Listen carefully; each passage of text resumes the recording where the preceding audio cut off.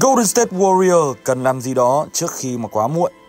Golden State Warrior đã từng là một đế chế hùng mạnh xuyên suốt thập niên 2010-2020. Kể từ khi Stephen Curry gia nhập, họ đã có cho mình 4 chức vô địch, trở thành thế lực thật sự tại NBA. Thế nhưng có một sự thật đáng buồn rằng nếu như khối thịnh vượng vàng tím Lakers đang dựa quá nhiều vào anh già LeBron James, thì đội bóng áo vàng xanh nay lại để cho anh bếp quá cô độc. Từ sau chức vô địch năm 2022, Golden State Warrior đã đánh mất đi vị thế của nhà vô địch khi năm ngoái họ chỉ vào đến vòng bán kết miền. Còn năm nay, thành tích của Hoàng Cầu còn bết bát hơn khi chỉ đang đứng thứ 12 tại miền Tây, với một thành tích có thể nói là không quá khả quan cho lắm. Stephen Curry thì cũng đã 35 tuổi rồi và anh có lẽ cũng chỉ còn thi đấu đỉnh cao nhiều lắm là 3 đến 4 năm nữa mà thôi. Và có lẽ thì Golden State Warrior cần phải làm gì đó trước khi quá muộn. Năm nay thì siêu sao chính của Warrior là Stephen Curry vẫn đang thi đấu vô cùng xuất sắc. Anh đang có cho mình 27,3 điểm, 5 kiến tạo và hiệu suất ném 3 vẫn duy trì ở mức 40% khá là ổn định. Steph vẫn giữ được những cú ném chuẩn xác, những pha handle ảo diệu bẻ cổ chân người kèm. Nhưng có một sự thật là các fan của anh dù lạc quan đến mấy cũng phải nhìn ra, đó là tuổi tác cũng đã dần bắt kịp những bước chân của siêu sao này. Những chấn thương đã dần xuất hiện, những lần đuối sức ở những phút cuối trận đấu vốn rất ít ở tay ném vĩ đại, nay khán giả đang phải dần làm quen. Ở tuổi 35 thì Curry vẫn đang phải thi đấu với một cường độ quá cao và anh vẫn đang có số phút trung bình cao nhất đội với 35 phút mỗi trận. Chris Paul, người đang được kỳ vọng sẽ cầm nhịp trận đấu khi số 30 nghỉ ngơi thì lại cũng gặp vấn đề về tuổi tác và thậm chí là cả chấn thương khiến anh không thể thi đấu được như mong đợi.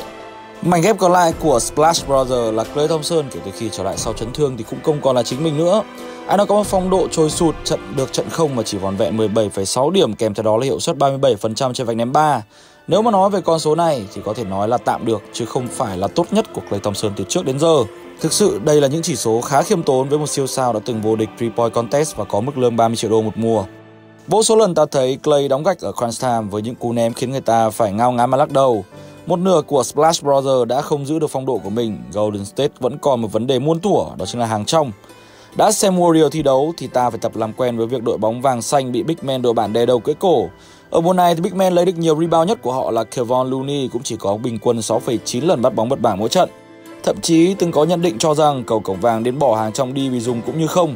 Tuy chỉ là một lời đùa, nhưng điều đó cho thấy trực trạng của Golden State Warrior đang ở mức báo động đến như thế nào. Nếu muốn cứu vãn thời gian đỉnh cao còn lại của Steph hoặc ít nhất mùa giải năm nay, Clay Thompson và những kép phụ còn lại sẽ phải tìm lại chính mình thật nhanh. Những tài năng trẻ như Jonathan Kuminga và Moses Moody cũng cần phải thể hiện bản thân mình nhiều hơn. Tiềm năng của họ là rất lớn, nhưng dường như có một cái gì đó vẫn đang không đi đúng hướng khiến hai tài năng trẻ này chưa thể thi đấu đúng như kỳ vọng. Đây sẽ là bài toán mà thầy cơ phải giải bởi lẽ nếu không thể tìm được ai chia lửa, người học trò cưng của ông sẽ phải một mình chiến đấu trước những con quái vật của NBA trong vô vọng. Thời gian thực sự là quá tàn nhẫn, nó không bỏ qua cho một ai cả. Kể cả đó có là siêu sao Stephen Curry mà chúng ta vô cùng yêu quý. Thời gian anh thi đấu tại NBA có lẽ không còn nhiều, mà đội bóng của anh lại đang trong giai đoạn khó khăn. Tuy nhiên, bóng rổ thì không thể nói trước, nhất là khi mùa giải năm nay vẫn còn đủ thời gian cho họ lật ngược lại được thế cờ và ai cũng muốn những mùa giải cuối cùng trong sự nghiệp của bếp trưởng sẽ là những mùa giải đáng nhớ nhất.